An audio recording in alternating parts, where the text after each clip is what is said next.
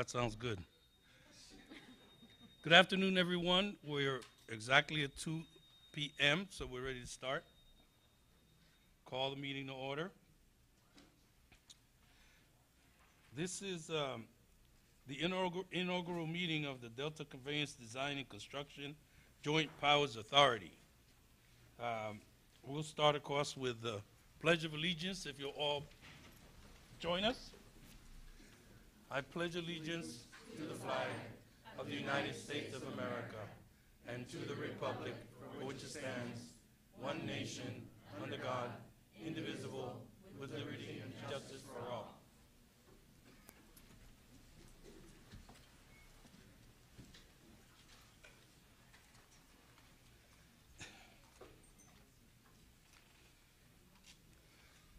Okay, we'll just have a roll call.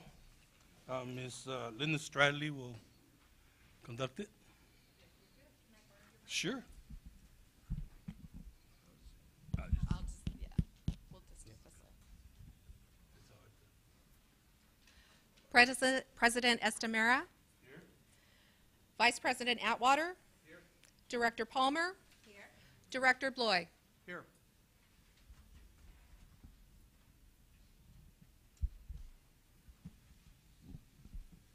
Thank you, Madam Clerk.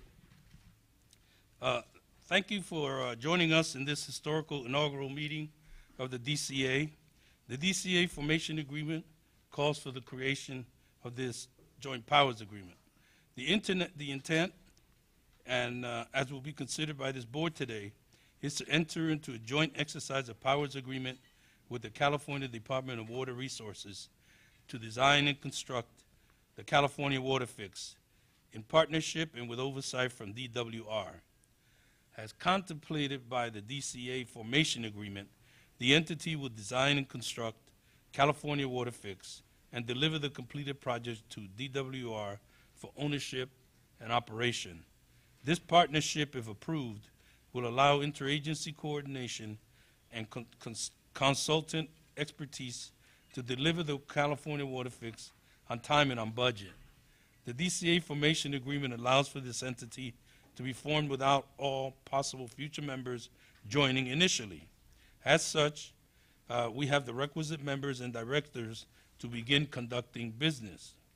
At this time, we will hear from members of the public regarding issues uh, that are within the authority's jurisdiction.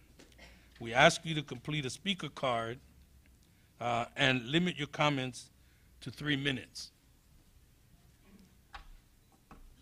I have some speaker cards already, uh, and I'm going to be calling folks uh, according to how I got the cards. We've also, I should, for the record, show that we've, we've got, um, I physically have nine letters in front of me uh, that we've received uh, that will be made part of the record, and uh, also those letters that uh, might come in will also become part of the record. So I'll just go right away to to the cards. Um, and please forgive me, uh, it's not necessarily my pronunciation, it's your handwriting. So the folks, so, so the folks after this group should remember that. Uh, Mr. Tim Strauss. See, there's a good, I'm sorry, we have a microphone right here. So uh, please join uh, Tim. Right after that, I'll call the next couple people. Members of the DCA Board, I'm Tim. Stroshane, Policy Analyst with Restore the Delta. Today is the first day that we hope you will come to Rue attempting to design and construct the most destruct- destructive water project in California history, the California Water Fix Delta Tunnels Project. The DCA is off to a start we could have predicted. Your project has a regional scale of effects Yet you failed completely to notify the affected public in the Delta region that you are meeting, that you are meeting here today. Restore the Delta let its members know through our usual email, website, and social media channels. You're welcome. I personally and professionally oppose the project. In my work with the California Environmental Water Caucus, and more recently with Restore the Delta, I have for years evaluated the project carefully anticipating that it would, it would have environmental, that anticipating that the Waterfix project would have its day in court. Waterfix proponents have insisted throughout the process since July 2012, when Governor Jerry Brown announced the tunnels project, that it would have environmental benefits in the Delta estuary. Members of the authority here likely hope that Section 437 of the House Interior Appropriations Bill passes to create an end run around judicial review for the tunnels project. If the project is so beneficial, as you and your allies claim, why would such a detrimental rider be needed from Congress? Why do you fear that submitting the project to judi- judicial review that would otherwise be inevitable? At Restore the Delta, we intend to continue our role of getting the word out about the tunnels project to the public. but it is a responsibility also required of you under the Brown Act as a public governmental body. Please shoulder it if you hope to win the pub- Delta public's hearts and minds for this project. Whether you shoulder that civic responsibility or not, we intend to make your tenure with the DCA as hellish as we can, whether we can sue the project or not. Thank you for considering my opinion on this vital matter for the Delta. Thank you, Mr. Strong. Um, The Honorable Diane Burgis.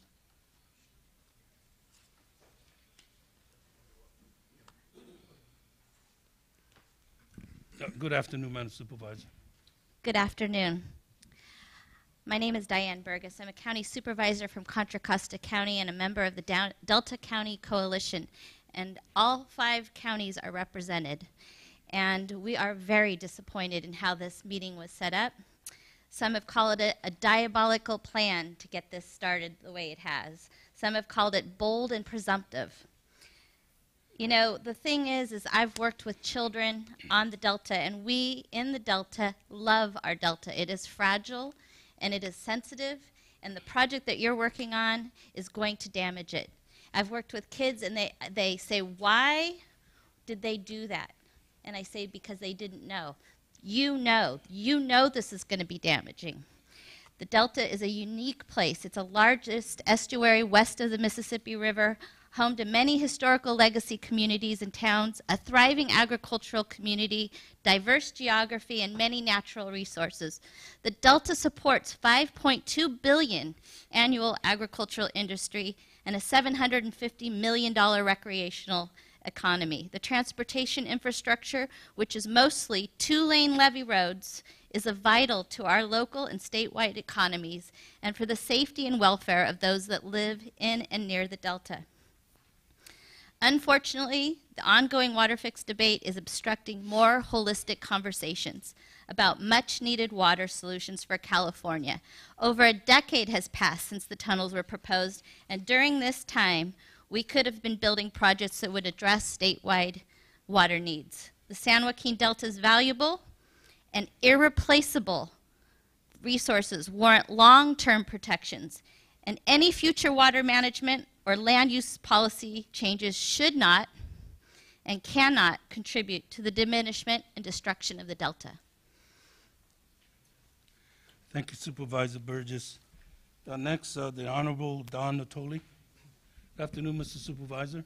Good afternoon, Mr. Chair and members of the authority. Uh, I'm, uh, um, I'm pleased to be here in the sense that I'm pleased to be able to at least address you about an issue that we believe very strongly in. And I want to just say that uh, as much as you may celebrate today's uh, historical moment, um, we um, uh, take some strong disagreement uh, with the approach. Um, we believe that it adds tremendous insult to injury by the formation of an authority that uh, basically will march into the Delta, pat us all on the head, and tell us it's going to be all right because when it's all done, it's going to be good for California. And to be clear, much of the project construction, if not all the project construction, is going to incur in our communities, in the Delta communities. And to know that ground zero is in the counties that we represent uh, both, for both construction and the long-term impacts associated with the California water fix. Many of these communities, I would remind you, were settled around the time of the gold rush era, and in some cases we have uh, seven and eight generation families who make their lives and their homes and have, for generations, farmed and been part of that fabric that community. If you'll allow me just a moment to portray a picture of anticipated project impacts, and you can go to the EIR if you want to confirm it, but imagine hundreds upon hundreds of additional truck trips per day on rural roads throughout the river delta. And imagine, too, the snarling traffic crawling through delta towns dotted with modest homes, small businesses, schools, parks, libraries, churches, and other important assets and amenities, not unlike the communities that you all hail from. And along with the traffic snarl, imagine the roar and rumble of the big rigs, barges clogging the river, and 30 million cubic yards over the life of the project basically strewn throughout the countryside on thousands of acres in a rural part of the Delta. And finally, you can add to what I've just described the frustration, the inconvenience, and the safety impacts of all the boring, drilling, augering, transporting, moving, dewatering, relocating, testing, collecting, sampling, pumping, exploring, constructing, deconstructing, demolishing, burrowing, and digging, and you get the picture. And what that means, that means it's going to disrupt, interrupt, destroy, and what I truly believe, and I've said this before in public settings, will forever change daily life in the historic Delta communities and the communities that we represent. Quiet rural, rural farming towns will be transformed into gigantic construction zones. You've got a picture, this is a miniature scale I get of the boring machine because it's going to be 40 foot in diameter. More akin to an industrial complex than a tranquil country setting. Impacts of these prolonged and intense activities, sometimes seven days a week, 24 hours a day, for years and years, will undoubtedly affect the quality of life and daily activities of these rural farming communities. It will likely displace people from their homes, creating economic uncertainty for small businesses, for farmers, and agritourism. It will affect the recreational, fishing, boating, and ecotourism activities along hundreds of miles of waterways in rural towns and in the Stone Lakes National Wildlife Refuge.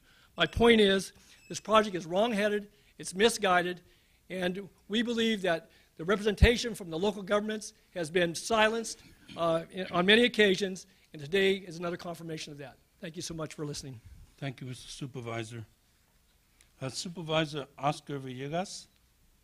Good afternoon, Mr. Supervisor. Good afternoon, you. and thank you, Mr. Chairman, for allowing us to speak a little bit here. And so I just start with saying simply that in statute, it's very clear. Counties such as ours, the five of us that are here represented today, are subdivisions of the state. That essentially means that we have to be a part of the conversation, certainly what California is doing relative to its water and water fixing. We are a subdivision of the state. The counties represent the people at the closest level. So we have to be invited to the big kids table, and to date, we have not been. We're also very concerned about the $17 million price tag that's been placed on this. We know that once that 17 million is reached, it's going to go beyond that. And then what, right? There's only so much capacity for ratepayers to absorb their willingness to pay for a project that we know is inadequately underfunded to date. We know that that's the case. We think that once you take that $17 billion off of the table and they've been spent, you no longer have the capacity to go back to ratepayers to say, and here are some other things that we need to do that are more effective, that are more efficient, and that are more, more, more friendly to the environment. So we're very concerned on multiple levels. Thank you very much for your time. Thank you, Supervisor. Supervisor uh, Chuck Winn. Good afternoon, Mr. Supervisor. Thank you. Thank you for the opportunity to speak before you today. Uh, let me just uh, digress a moment uh, in regards to the overall global picture that, that my fellow supervisors have from the Delta counties. Um, for example, in, in, in regards to this particular project, there, there's two things, and I'll only mention these things in, in regards to the negative part of it. The, uh, the Twin Tunnels does not generate any more water, and it doesn't provide any flood protection, which obviously those who live in the valley, both Sacramento, San Joaquin Valley, and other areas, are very concerned about in the future, especially by the 17 winter uh, atmospheric forms that we had, storms we had. So, having said that, I would also say that you know California is not in a, in a situation where we lack water. We're in a situation where we lack infrastructure. I'll give you an example. In, in California, from the north to the south end of the state, we have anywhere from 150 million to 300 million acre feet of rain each year. In 17, just in the four months, those particular atmospheric rivers or storms, uh, we flushed through San Joaquin County 32.6 million acre feet of water, which had no benefit to the environment, had no benefit to agriculture, had no benefit to municipalities. And the reason that, that happened is because we had no storage capacity in those particular areas, or we didn't have the capacity farther south because all the reservoirs south of us, even Southern California, were full. So if we had that opportunity to take that water and manage it more productively, we would certainly be able to deal with the droughts that we'll have in the future, certainly to manage the floods that we've experienced in the past. And more importantly, the projects, and, and I can uh, tell you that, for example, there's seven projects. There's, there's four new projects and three existing projects that would be raised, basically, the dams that currently exist. And that would generate over 5 million acre feet of storage. Now, we ship less than 5 million acre feet a year to Southern California and the Central Valley. So, by virtue of that, the, the 30 plus million acre feet, we, if we had those in place, we would have the opportunity to save some of that water for future use. The other part of it is in regards to meeting with uh, entities, and, and by the way, this particular group, we met from uh, uh, San Diego to, uh, to uh, Yuba County and 25 different counties, talked to them about their various projects. We've met with Santa Clara Valley uh, Authority in regards to some of their projects that they have online. And the reason I bring that up is because why would we want to spend, and as, as Supervisor Villegas said, it's not $17 billion. It's going to be, in fact, estimated back in 2013 by the San Jose Mercury News. Probably at least $60 billion, and the way the high-speed rail is going from 6 billion to now over 10 billion, and probably 100 billion if they were built, which they probably won't. Plus, on top of that, they don't have all the right-of-way purchase. They only have 70%, which means go eminent domain, which may happen with this body. It, it's fraught with litigation. So my point is, in talking to all these various agencies, there are a variety of projects. Those particular projects with the, uh, with the 5 million acre feet storage only cost $11 billion. I realize mega projects always go over budget and over time, but so will the twin tunnels, and I would rather see those projects built throughout the state for local jobs, local economy, and local control, as opposed to putting all that money into one particular project which has no benefit for the rest of the state. We have a chance for a world-class water system. This is not the opportunity we want to pursue. Thank you. Thank you, Supervisor Winn. Uh, The Honorable uh, Skip Thompson. Good afternoon, sir. Thank you, Mr. Chair, and uh, thank you, uh, Commissioners. Um, I'm uh, not only County Supervisor for Solano County, also am Chair of the Delta Protection Commission and a member of the Delta Stewardship Council, which is a statewide council dealing with uh, the uh, conveyance storage operation and a number of other things. Um, This decade-long focus on tunnels really ignores the cost benefit of many other projects that could be considered. I, I have to tell you that you're going down the wrong tunnel. The Delta Reform Act of 2009 established co-equal goals, mandated a policy to re- reduce reliance on water exports from the Delta and investment in alternative water supplies. The proposed water fix will not reduce Delta diversions and addresses only one of the co-equal goals. There are many alternative projects being proposed throughout the state which would unite California. My colleagues and I have been from San Diego to the North Coast, talking to editorial boards, talking to a number of the citizens here in, in California to talk about why this is a bad project. And there are other projects that will really unite California from north to south. Uh, local projects add water to the system, promote local jobs and contr- uh, local control. Bond money could instead go to less controversial projects that add water to the system and not cause further devastation to the delta. Expanding the project with a JP at this point in time is grossly inappropriate. Where it may take, make the governor happy, it is bad public policy to acquire land, design and construct the proposed project before it is fully permitted, before environmental impacts identified. In addition, many lawsuits are pending and bonds have not been uh, validated yet. And, you know, I think to put it in layman's terms, you don't build a house before you get the permit. That's what we're doing here. You need to go through the permitting process and the bond validation process before you embark on this crazy project. For many years, most of the planning for the fix has occurred behind closed doors. Where I suppose that this meeting is the first good step, it really doesn't go far enough. My colleagues talked about local government being involved. There are 4 million people that are going to be directly uh, impacted, and yet the state, the governor, and his administration have not made one conscious effort to reach out to us to say, we need to have you included. We can be part of the solution, but if we're not, we can be really part of the problem. So I guess the question that my colleagues and I would like to ask this board is how are you going to work with local government? How are you going to work with the community to make sure their issues are addressed and that we are not harmed by the project. And so, uh, you know, I, I would just ask you to reconsider what I think is a full-hearted attempt right now. Let's get all the permits and the bond i- in line, and then you can embark on a project if you really feel in your heart it's the right project. So from the Delta Counties Coalition, we appreciate uh, this time and uh, wish you best in your decisions. Thank you. Thank you Supervisor Thompson. I have next, next uh, Ms. Barbara Barrigan Parrilla. Good afternoon, Barbara Barrigan Parrilla with Restore the Delta. Good afternoon. I um, have a few questions um, for the uh, board here for the JPA. Uh, Mr. Arakawa, Director Keegan, uh, President Estremera, I have sat through countless meetings and I have heard time and time again from you or from staff addressing you how the Delta tunnels are going to save our fisheries in the Delta for years. If this project is so environmentally reliable, then why is Congressman Calvert leading the charge with federal legislation right now to bypass all state and federal laws in terms of environmental protect- protections for the construction of this project? Why is he leading the charge to bypass due process? if this project can really stand up to environmental scrutiny. There wouldn't be an end run around you being held accountable by the public if this project really did stand up to true environmental scrutiny. We've asked, we've been to every hearing, we've supplied thousands of pages of comments that document the problems with this project. And you assured people, your ratepayers, your fellow members on your boards of directors, that you were pursuing a project that was environmentally sound and that was going to protect the Delta.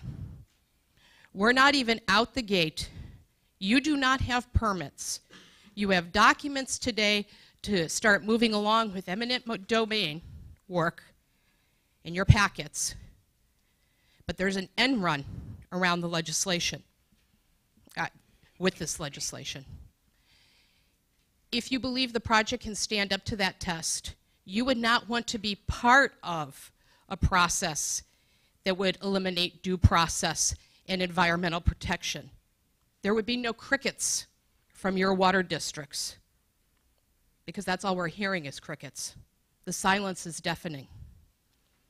And we're hearing nothing from Governor Brown. If this is truly an environmental project, do the right thing and have the project stand up to the state and federal laws that are in place. Thank you. Thank you. I don't have any other cards right now, so uh, continue the meeting. We'll go right to uh, item number five. Uh, At this time, uh, I would like to formally acknowledge that I received the appropriate documentation from rep- representative agencies to indicate the following directors and alternate directors. First, Tony Estremera, myself, Director and President from Santa Clara Valley Water District. I'll just take a minute and ask the other uh, members to uh, take a minute just to describe maybe uh, your background and/or um, the uh, organizations that you represent, just for the benefit of the public. Um, I uh, represent about 300,000 people in Santa Clara County, Silicon Valley, uh, from part of downtown and the east side of San Jose. Uh, all of my district is within the city of San Jose. It's part of the poorest sections of town. Uh, this is my 23rd year of service on that on our board, um, and um, I uh, have another year on my term.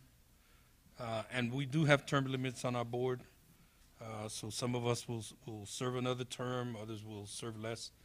Um, we are a, uh, we are both a flood control agency and a water supply agency. We um, operate 10 dams and reservoirs, three water treatment plants. Um, We have, uh, we are in charge of um, 287 streams and ponds. Um, And I'm sure that uh, I'll leave some for Barbara to describe. My alternate is uh, Barbara Keegan. Ms. Keegan?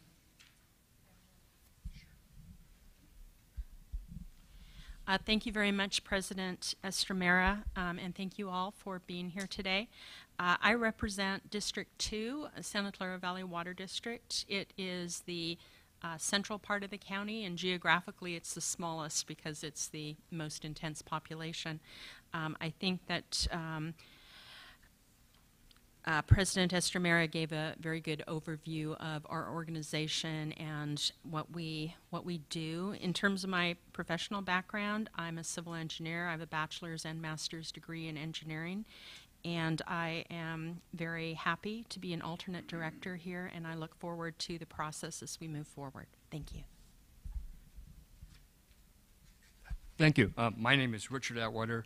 I'm the, the vice chair of, of the JPA. Um, I'm a board member at the Metropolitan Water District, uh, but elected at our member agency, the Foothill Municipal Water District, which was formed in 1952 uh, in the area of Pasadena and Glendale, for those of you in Northern California. Um, uh, of course, Pasadena was the first adjudicated basin in, in California, and, and all our groundwater in our area is adjudicated. And the reason why we joined uh, through a vote of the, of the public was to, of course, receive imported water from the Colorado River, and, and secondly, in the 1960s with uh, the State Water Project. Um, I began working with Santa Clara Valley Water District when I professionally worked at the Bureau of Reclamation back in the 1980s when they uh, went through the, the long, arduous process of completing the San Felipe project to get CVP water from San Luis Reservoir and how critical that was to the growth of Santa Clara County. And uh, at that time, I had something similar to what Jill Duerig is doing. It. I was the interim executive director on the formation of the California Urban Water Agencies, where we got Contra Costa and East Bay MUD and Santa Clara working with Metropolitan, City of LA, and San Diego. So I have a long history of working collaboratively up and down the state, and I would just say that my goal here um, historically is, is to fully evaluate all these uh, programs, and, and clearly um, had a lot of experience with uh, joint powers agencies. Uh, as one simple, short example, uh, the Santa Ana River has had a JPA uh, that's been going on since 1972.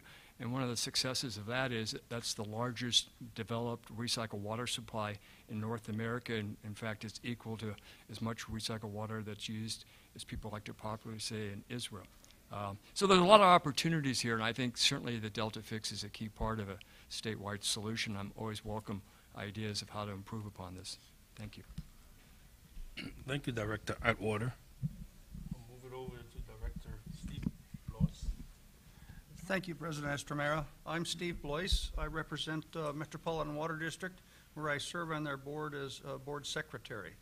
Um, I'm appointed to that position from my elective uh, water agency, which is the Calleguas Municipal Water District, which serves uh, about 660,000 people in southern Ventura County.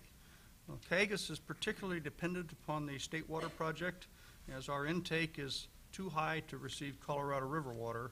And therefore, all of our imported water comes from the State Water Project. So this project has always been of particular interest to those of us in Ventura County, uh, and that's part of my reason for being on this board.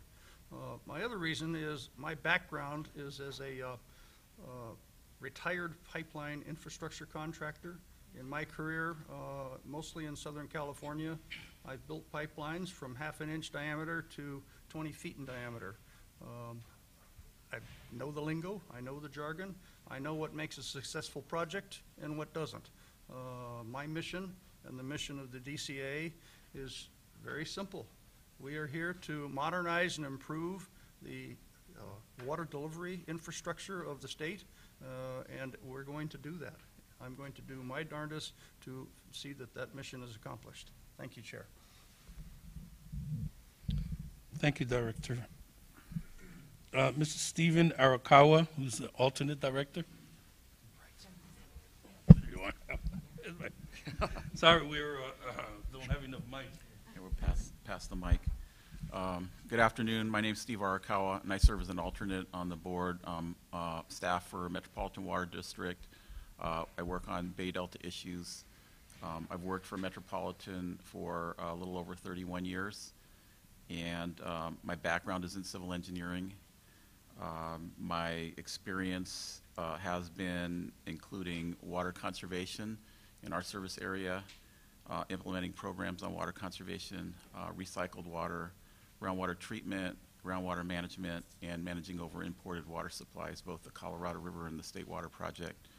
Um, in my role now, I'm uh, very much involved in Bay Delta issues, and uh, I look forward to contributing to this effort as an alternate. Um, my whole career, I've, ser- I've served uh, in public service, and I look forward to participating in this as a public servant as well. Thank you, Mr. Arakawa. Mr. Shane Chapman, who's another alternate. Uh, Good afternoon. A pleasure to be here. Shane Chapman, uh, Chief Administrative Officer, Assistant General Manager, Metropolitan Water District. Uh, Currently responsible for human resources, information technology, contracts and procurement, um, real property and environmental planning. So looking forward to working with uh, the DCA and assuring an appropriate and transparent uh, operation of this entity. Thank you. Thank you. And Ms. Sarah Palmer, who's the director. Okay, I'm Sarah Palmer. I'm from Zone 7 Water Agency. Uh, we're up in the region uh, east of Sa- uh, San Francisco. We serve Dublin, Pleasanton, and Livermore, bits of Sunol. About 240,000 people, a little bit more. And uh, we're a water wholesaler for the most part. We do water wholesale for um, for Dublin San Ramon Services District, Cal Water, Livermore, uh, Pleasanton, and also we uh, we serve directly to several of the wineries. So if you guys enjoy like Wente or or Concannon, any of those wines, uh, we we give them their water, and. Um, what we what we've got then is for me personally, I've been on the board for about 12 years now, and my background is I have a PhD in biochemistry. Um, I've taught at um, at UC Berkeley, at uh, Cal State. At, it was kind of a half degree will travel type of a thing. I was in uh, cancer research for a few years in mammary cancer research, and um, also medical diagnostics. Um, also taught environmental science for about 20 years, so that's um, been been a passion of mine as well. Uh, my main my main goal really is to see to public health. So public health is one of the things that, that I feel most strongly about that is something that directly applies to this project. Uh, Zone 7, in terms of where we are, we like to think of ourselves as Northern California, but in actual fact, we are right on the, um, we're right sucking from the, from the pipeline there. It is uh, basically we get 80% of our water from the from the state water system. So it's very much within our interests to be looking at this project. Thank you, Director Palmer. Uh, next, uh, Doug Headrick, an alternate.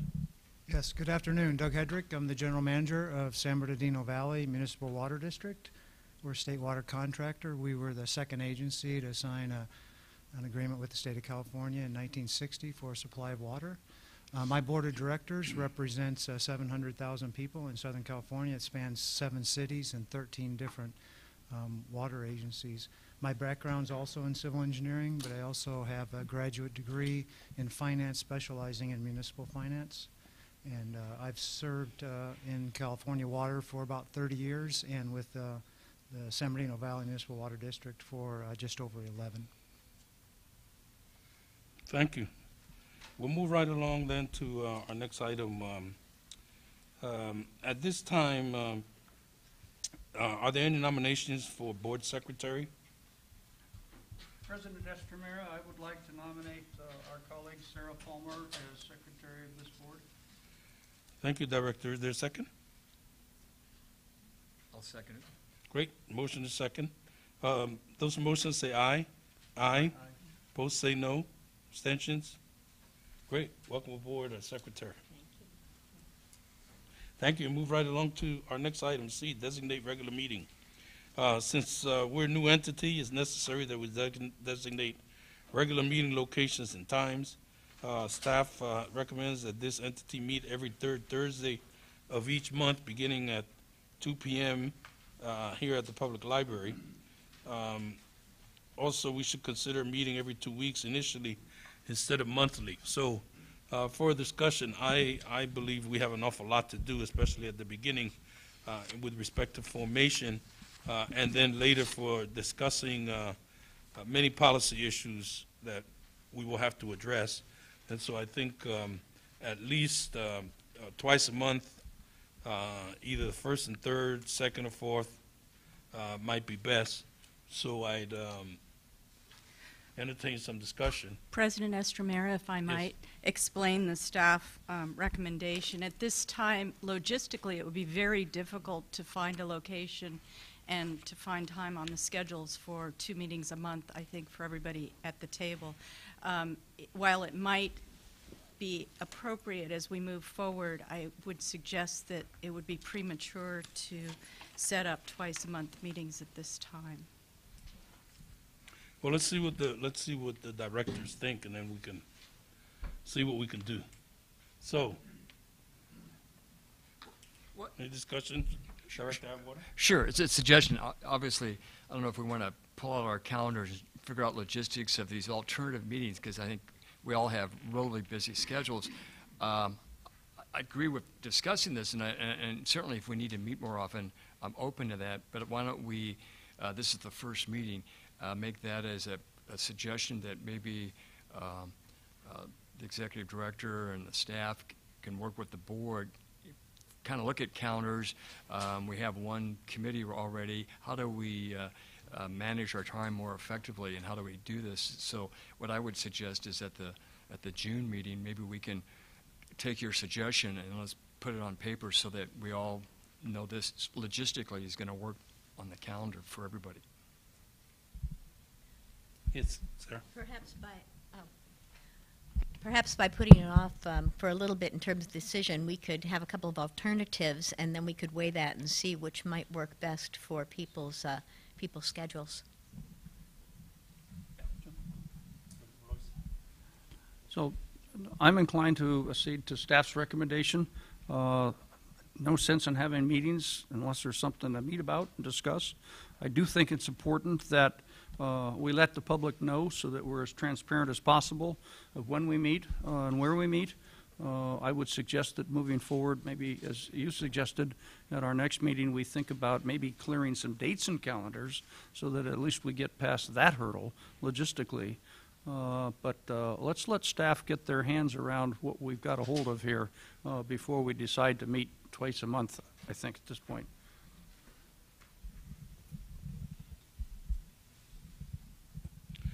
Okay, the reason why I raise it, of course, is because if we don't meet, if we meet six weeks from now, that's six weeks that decisions are not made with respect to executive director, recruitment, and so on. Uh, you know, if we need to put out an RFP for positions, if we need to um, put together, uh, we have to draft bylaws, we need to talk about committees. It takes time to form those and do the administrative work after that.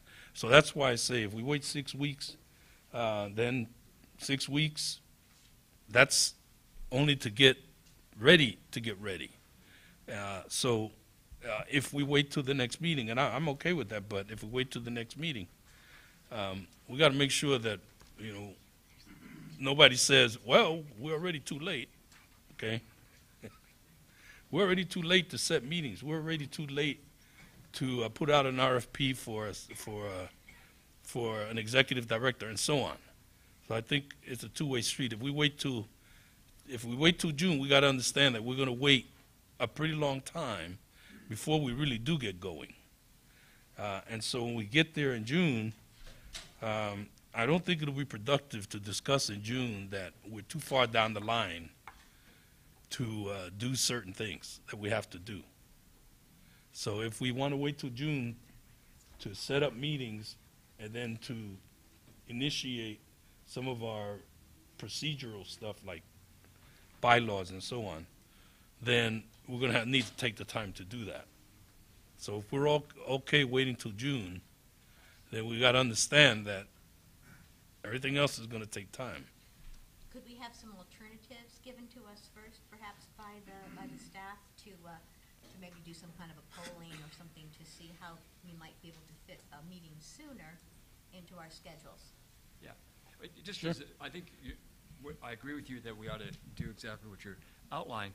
My- My only, uh, another suggestion, because we can develop these alternatives, but if you'd like to, uh, as chair and vice chair, why don't we work with the executive director in the next few weeks to do exactly what uh, Director Sarah just suggested, and that is kind of lay out some alternatives that we can discuss at the, at the May, excuse me, the June 21st board meeting. It's only a, you know, it's, it's not that far off. And, and, and make sure that we can figure out the, as a startup, the logistics and when to schedule these. Uh, I think, uh, um, I think we all agree with your goal. It's just uh, how to implement it. Okay, that's fine, then we'll do that. We'll try our best to um, figure out whether we need a special meeting in between this next June. And then we'll, we'll agree then that uh, the next meeting will be this June meeting unless we do a special meeting then be- before that. Okay. President Estremera, it's probably appropriate to take a motion I- to set it that Yeah, way. I was just looking at that, except that, I'd, I'd make a motion that our, that we have now notified that the third Thursday of each month, uh, at one, at one o'clock, two o'clock, excuse me, I've just At two forgot. o'clock. Two o'clock, that we ha- hold our, our normally scheduled meetings, which, uh, under the Brown Act, we need to notify. I second that. okay. There's motion and second to adopt. I'm um, sorry, before you go to vote, um, we also need to designate the place of the meeting in the motion. Yes, and I assume we want to, we need to use this. At the public library. the- The Sacramento Public Library, where we're located today, that'll be the, the official notice as far as, again, compliance with the Brown Act. Okay.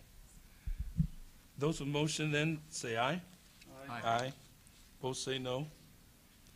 Okay, we'll move right along. If there's any special meetings, we'll set them. Uh, Number six, the uh, consent calendar. Uh, There are no items on the consent calendar, so this is our first meeting. Uh, At this time, um, we'll move right along to seven A.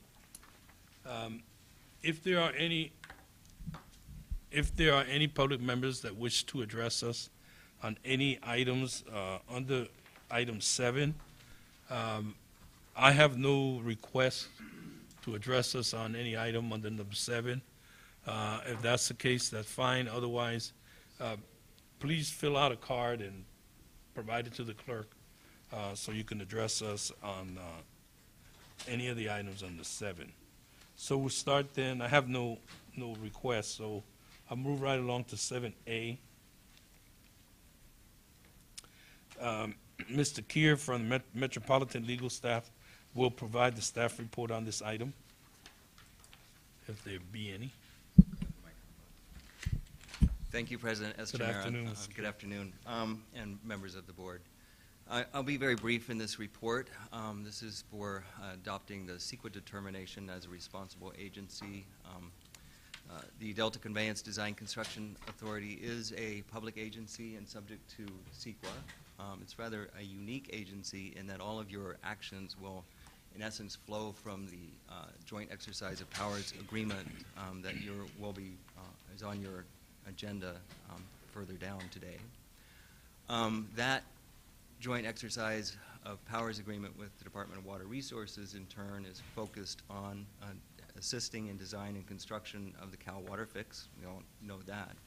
Um, The Cal Water Fix uh, project in turn was subject of an extensive uh, environmental impact report that was concluded um, last summer when DWR approved the project. Uh, So the action here, first up, is as a responsible agency under CEQA.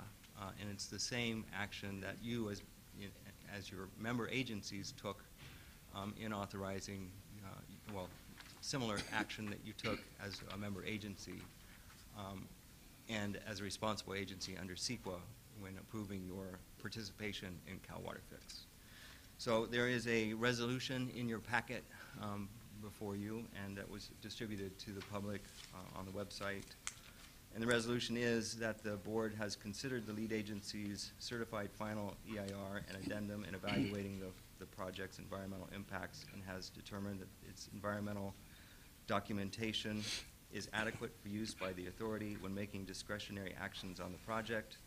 that the board adopts the findings and statement of overriding consideration as prepared and adopted by the department, that the board adopts the mitigation monitoring and reporting plan as prepared and adopted by the department, and as the lead agency, that DWR, and noting that as lead agency, the department is ultimately responsible for ensuring that feas- feasible mitigation measures are implemented. I'd be happy to answer any questions on this. Thank you. Any questions, Mr. Kear? I make a motion to approve uh, item 7A. So the motion to approve uh, seven A, which is to adopt the CEQA determination for actions pursuant to joint exercise of powers agreement with the Department of Water Resources, that the board has reviewed and considered the California Water Fix environmental documentation and adopts the lead agency's findings on this matter. Any further questions or discussions? A second? Second. Motion is second then. Those for motion say aye. Aye. Opposed say no. Item passes unanimously. We'll move right along then to seven B, to authorize execution of professional service agreement for interim executive director with management partners and appoint alternate director Shane Chapman as um, the uh, agreement administrator. Uh, Ms. Morris, would you please provide the staff uh, report for this item? Thank you. Uh, This, this would be a contract between management partners and the DCA. The scope of work would be for Jill Duerig to perform the interim executive director duties. And they, her, the scope of work will allow her to ensure the orderly and seamless transition of the program from the planning phase to the implementation phase. The key terms are um, that the contract would begin in presumably today if you adopt it, uh, through May 16th of 2019 or until um, terminated earlier. Um, the key personnel would be Ms. Duerig performing the work. The agreement administrator, as noted by President Estremera, would be Shane Chapman from Metropolitan Water District. It's a contract to not exceed $375,000. It can be terminated uh, with 10 days' notice to consultant. The fee schedule is attached to the contract that was provided to the public um, at the table and would be for the hourly billing rate of $250 an hour.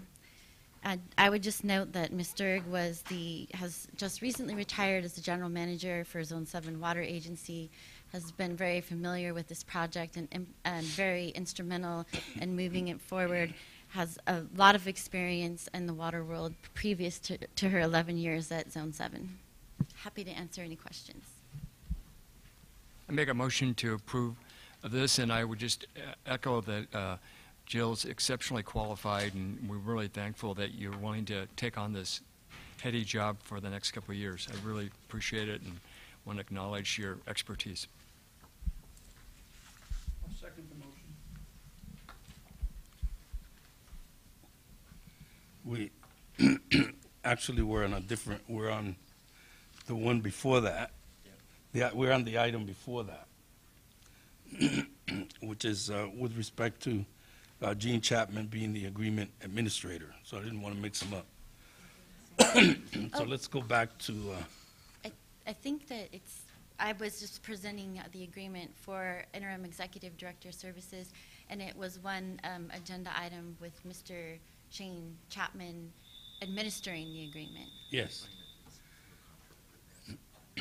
And it's a contract for, through management partners? Is- I understand, I okay. understand, but the, the motion was to the next item, so I'm trying to straighten out the motion. Oh, I apologize if I'm incorrectly. I'm, um, it's, again, it's, it's 7B, Yes. and that's the motion. Yes. And that's my second also. All right, we're talking about, um, yeah, seven B Gene, uh, Shane Chapman as agreement, um, administrator. That's correct. Okay, those for the motion say aye. Aye. Opposed say no. We're moving right along to C, which is to authorize execution of professional service agreement for interim general counsel with Besson Krieger and appoint alternate director, um,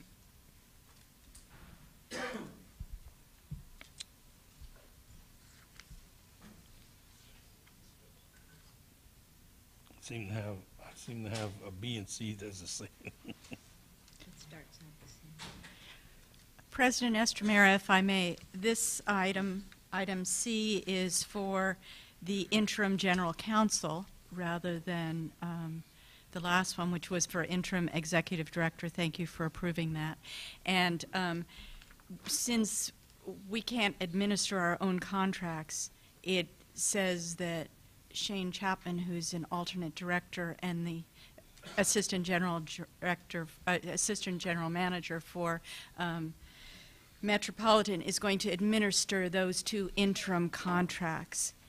As with the proposal for executive director, Stephanie has been kind enough to say that she'll agree, and we think this is going to be very good because she's been very active in both the planning phase, and we hope that she'll continue to remain involved on some level. So the term sheet is has also been made available to the public on the last um, on the table in the entryway. The key personnel will be Stephanie Morris, even though the contract is with Best Best & Krieger. It is again a one-year contract starting today through May 16th of 2019, unless terminated earlier. And it's a total not to exceed amount of $425,000. And I so move. Is there a second? Second. Okay, there's motion and second, then, um, those motions say aye. Aye. Opposed, say no.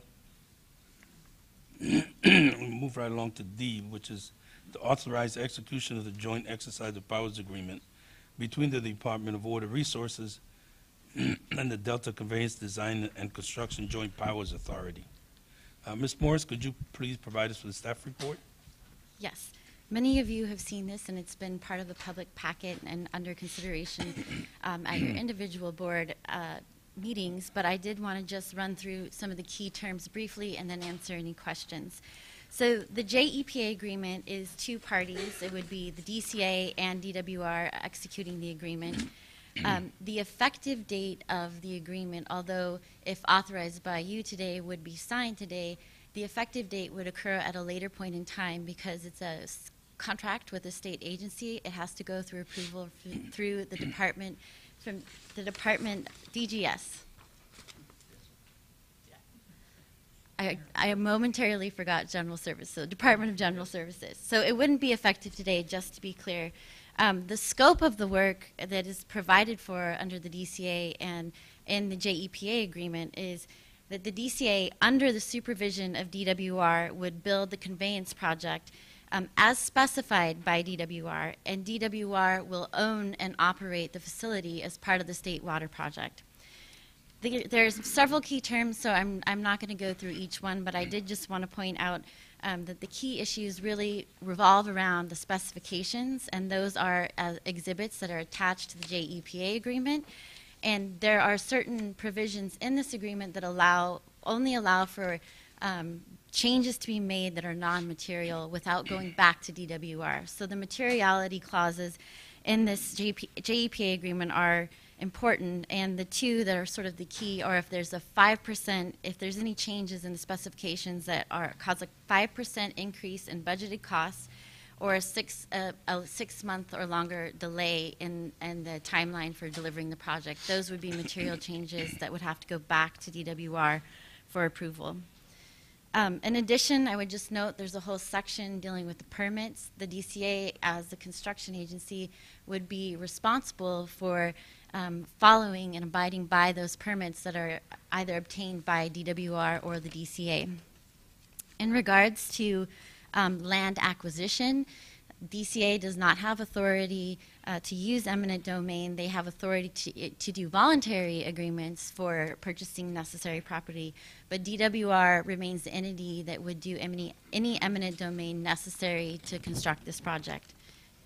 At that point, um, I would just note that there are significant insurance requirements, so that will be one of the items that we will be reporting on that we will need to um, get bids and, and obtain the uh, necessary insurance required under the JPA when it becomes effective. And I'm happy to answer any questions. Any questions for staff? Yes. Yes, Director Bruce. So I'd like to make a motion that we authorize our board president to execute, execute a joint exercise of powers agreement between the Department of Water Resources and the Delta Conveyance Design and Construction Joint Powers Authority. Is there a second? I second. Thank you. Any questions? Those for the motion say aye. Aye. Aye. Opposed say no. Abstentions? Passes unanimously. We'll move right along then to E. Authorize the executive director to solicit auditor services for board consideration. Um, Is there a report on that? Just a very brief report. Thank you. Uh, This, this motion, we're required under uh, the, the DCA formation agreement to hire an auditor as soon as practically possible. That, that auditor should be selected by the board, so this would authorize the executive director to get bids for that auditor and bring them back and present them to you, hopefully at the next board meeting. I'd make a motion to authorize the executive director to uh, uh, bring back a recommendation on auditor services. A second? Second. Does that give you enough time? I'll come back and let you know if it isn't. Okay, those for the motion say aye. Aye. Opposed say no. Motion passes.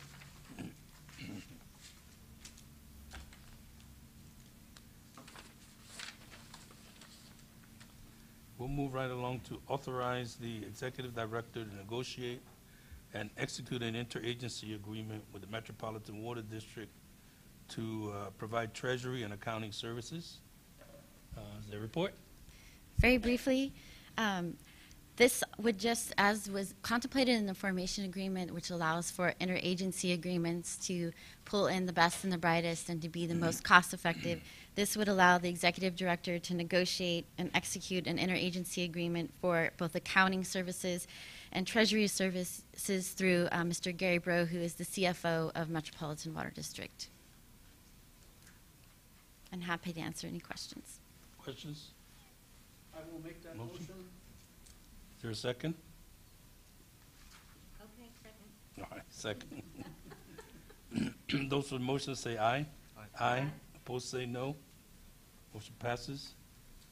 We'll move right along to authorize, the next one is G. Authorize the executive director to negotiate uh, and execute an interagency agreement to provide other services. Very Morris? briefly, thank you. Um, This, again, as I mentioned, the formation agreement and expects that there will be interagency agreements. We will need staffing and sort of an engineering, IT services, things of that nature. So this would be to to allow the executive director to use um, interagency agreements with um, member agencies and other state water contractors, also with the Department of Water Resources, to begin to pull those resources and pull from the best and the brightest. And so this would allow her to negotiate and execute those interagency agreements. Questions? No, I think it makes sense to utilize all the existing state contractors and DWR for these types of services, so I'd make a motion uh, consistent with that. Is there a second? I'll second it, but I would request that uh, uh, we receive a report on the results. Yes. I agree with that. With that addition, those for the motion, say aye. Aye. Opposed, say no. Move right along to H. Authorize um, authority staff to prepare and file all necessary documents related to the formation of a joint powers authority and to take other steps necessary and convenient for the creation of a public agency. Um, Ms. Morris? Thank you. So this would be to, it's a little bit of a catch-all. Um, because we are a new agency, there's several things that we know have to take place. For example, we need to get a federal taxpayer ID number. We need to file certain paperwork with the Secretary of State. There may be other things as we are going through the documentation in the next several weeks that we need to do just to get the agency up and formed. So this is a catch-all um, to allow for that. In addition to that, uh, if directed by the board, we could begin to look at some of the um, resolutions and documentation that we would need such as uh, bylaws, and staff could be, again, drafting those to bring back to you, conflicts of interest codes and things of that nature. Happy to answer any questions. Questions? Entertain a motion? I'll sec, yeah, I'll second it. Okay. Uh, Motion to adopt uh, the staff recommendation. Those for motion say aye. Aye. Opposed say no. Abstentions? Motion carries. And then we're at reports. um, This will generally be a, a regular item on our agenda. I don't suspect that there'll be much report, much uh, to report, but we'll go through uh, in any case. Uh, So, we'll, uh, Ms. Duerig, uh, please provide your report. We actually have a, a few slides to Great. share with you uh, to show you kind of how we got here and where we're hoping to head. Um, There's a, a bit of a program overview that we're going to talk about, the formation, of course, and uh, some planned initial work activities, and then the next steps. We all know, and many of our speakers mentioned, that WaterFix is located primarily in the Delta area. It's um, going to have three intakes in the Sacramento River. It's going to have an intermediate forebay, several tunnels, and then a Clifton Court pumping plant. The budget, uh, and this is in 2017 dollars, so it hasn't been updated in the last few months, but you'll see that the actual tunnel piece is estimated at just under $7 billion. The rest is for ancillary needs, whether it's intake construction, utilities and power, but there's a huge contingency in there too, because we are still very early in the design. It's a 36% contingency to get us up to that almost $17 billion. So um, it's, it's very important to note that.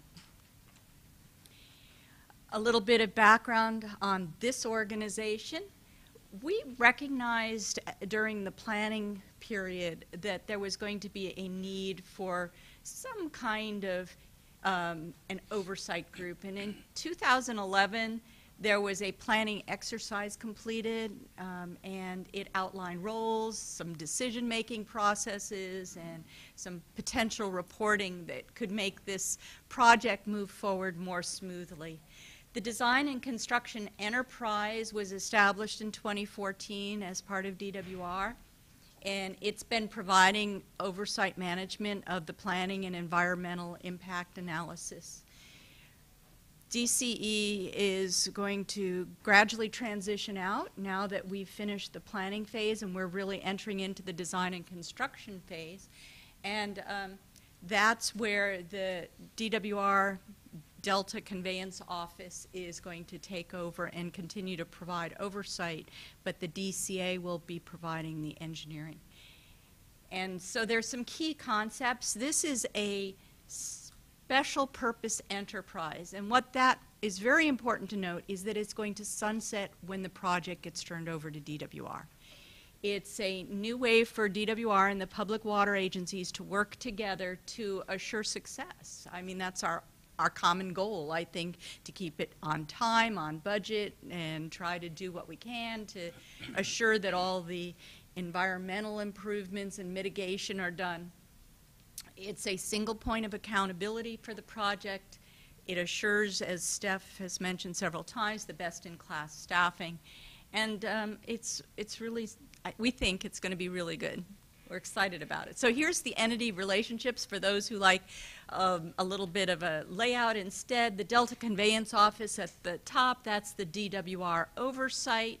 The, at the bottom, you have the Delta Conveyance Design and Construction Joint Powers Authority, or DCA as we've been calling it. Um, to, between the two of them, there's going to be a JEPA agreement that you've just approved us entering into. And then the financing is to be provided by a financing JPA.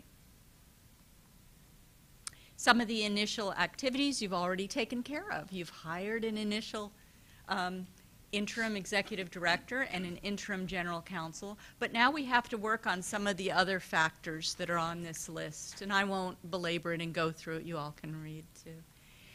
So the objectives for the startup team are going to be mobilize the resources necessary to appropriately staff the organization. And I, as I say appropriately staff, that means interim where we need it, more permanent, longer term um, assignments where better appropriate. And it's really to continue the key water fix activities and to initiate um, any new time sensitive work in the quickest manner possible. That's why you hired interim staff. Some of the water fix work that is transitioning to the DCA is the program management and the permitting management. There was a lot there were a lot of comments about the permits. Yes, there are a lot of permits that we're still working on. Permits aren't something that happen overnight. You just don't file it and get your permit as you stand in line and wait. Sometimes it's months or even years, and so these are already all in process. The eventual DCA will be pretty large. This is a very large project, so we anticipate a lot of key roles, whether it's finance and accounting, which we just talked about on the far left, um, some of the communications and outreach, the internal and auditing, again, you talked about this today, program manager, um, the legal counsel, again, you took care of an interim assignment today, risk management, the um, Ms. Morris was talking about some of the insurance um, that we're going to be looking into for this project, and last but hardly least is safety management. So our goal on staffing the DCA is really to get the best in class, and we think that this kind of single-purpose organization is going to facilitate that. Uh, it's a single point of accountability. It's a melded team with the best we can find anywhere, whether they're currently in public service and we can bring them on board through uh, interagency agreements, or whether they're in private and we bring them on board through consultant agreements. We hope to have all of the key staff that will be working on this co-located in a single location so they can work together. And staffing, again, will come from a variety of locations but to emphasize once again, this is not a permanent organization. Many of you come from organizations that are 50 or 100 years or 150 years old. This is not. When this project is done, this organization will no longer exist. So what we anticipate doing during the first three months as we're getting some of these startup activities going is to continue to move forward the permitting so we don't drop the ball on that uh, to find some office space, to get some of those financial systems in place. So thank you for letting us um, have the authority to do an interagency with MET for some financing assistance. To begin to secure long-term staff from the uh, public water agencies, again, thank you for approving that. And then we had some um, some institutional days where we talked to the um, various consultants about the projects, and then we did some initial requests for uh, qualifications, RFQs, and we got responses back a few months ago for a permanent executive director, for an engineering design manager, for property acquisition services, for a sort of catch-all of surveying, mapping, right-of-way, title services, and last for geotechnical services. Um, the geo, these five um, responses have been received but have not been opened. They've been under seal. So we're going to review what we got, see if we can make selections from what we got, and if not, we'll come back and tell you, no, we have to go back out and do an RFQ because none of them are adequate. And um, we'll be making recommendations to you to hire, hopefully, these will be our first five recommendations. And then to award those consulting contracts after board approval, obviously, at some future meeting.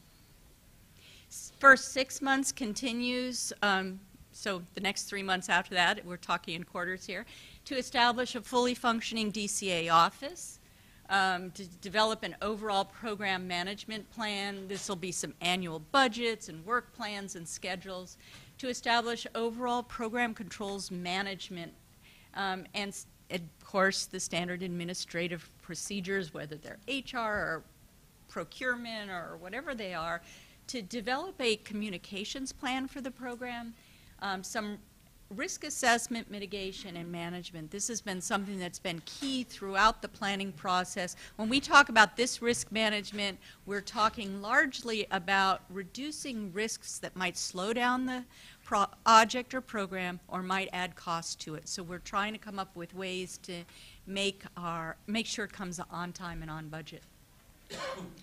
This is a schedule that's almost impossible to read, but the bottom line is that the next three months are going to be very busy, and we're going to just get busier and busier as we go forward. We are now switching from the blue, which was the planning piece, to the green, which is what we're starting to do design and construction organizational things. And then the actual construction we're hoping is the yellow that will be moving forward hopefully by the fourth quarter of this year with starting some construction. So any questions? Questions? Yeah, that, I think that's an outstanding presentation, Jill. Uh, obviously, there's a lot to cover with that, and so my suggestion would be um, next month we allocate time to really get into the, the details so that all the members of the board and the public understand that uh, there's what the activities are going to be over in the next three to six months. That would be great. Yeah, I'd be happy to do that. And I, I have a, a lot of help. You know, I can't even tell you how much goes Well, into it. And this is a world-class project, and my experience with joint powers agencies and these big projects, you're doing exactly the right roadmap of how to put together uh, the best-in-class team to get this done in a timely, cost-effective, and, uh, you know, overall, keep within budget. Thank you. Yeah, I did want to make sure that, um, with respect to the executive director, uh, one, that, um, that we have a process that the, the board approves, and two, of course, that the, bo- the board make a decision with respect to who the executive director is going to be. The report isn't very clear about that, so maybe at the next meeting, we can talk a little bit more about it and the process that we expect. Of course, yes. Okay, and then the, any further questions? Okay, uh, uh, thank you. Then we'll move on to the, our next report from General Counsel.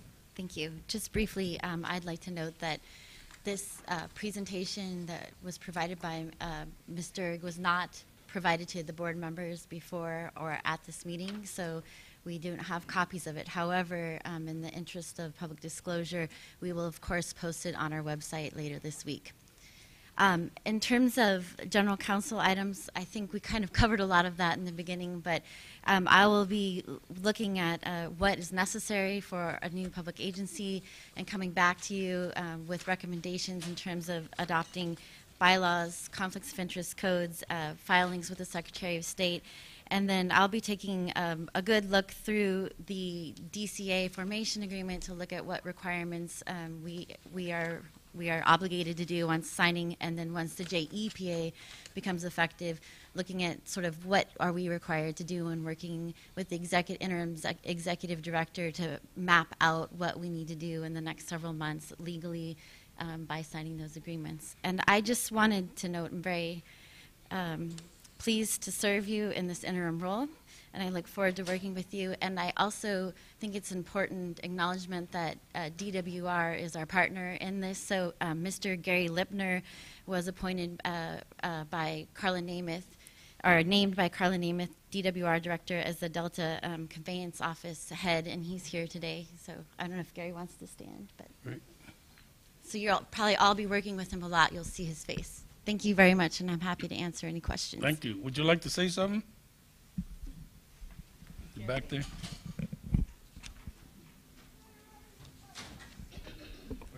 I think he just walked out. I scared him. I have a Right, question. join him. Who scared him? I have a question Eric. for Stephanie. Um, You mentioned a website. Can you tell the public? What the website address is? I can, and, back. and it was on the um, announcement that went out and was also on Maven's um, that we forwarded so that it would become public as soon as we posted it. It is www.dcdc.or,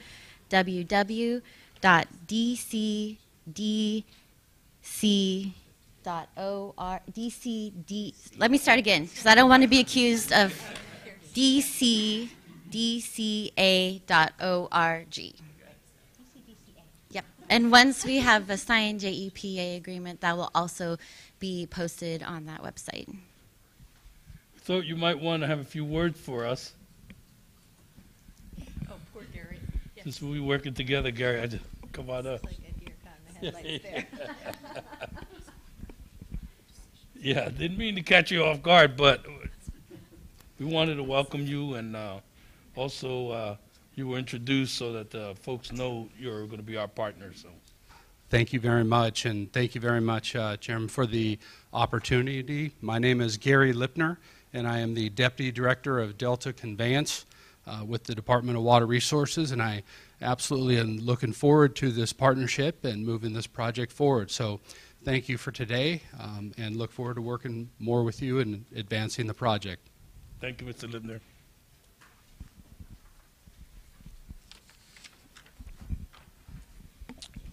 Okay, are there any, uh, we're at uh, the end of our meeting, uh, are there uh, any future agenda items that the directors wish uh, for staff to, to address? I know we've already raised some, so I think those are already uh, in the process, but are there any other issues that any of the directors might want to raise at this point? So basically put out something for, should we have another meeting in between, and, and then also get that uh, PowerPoint to us. Yes. And a few of the questions that, that uh, we asked the executive director. And uh, anything else? Okay, that, that's, uh, that's going to be a lot anyways. Okay, well, uh, thank all of you for uh, joining us today. Uh, And we're ready to adjourn. We'll see you at the next meeting, and whether it's a special one or not. We stand adjourned then. All right.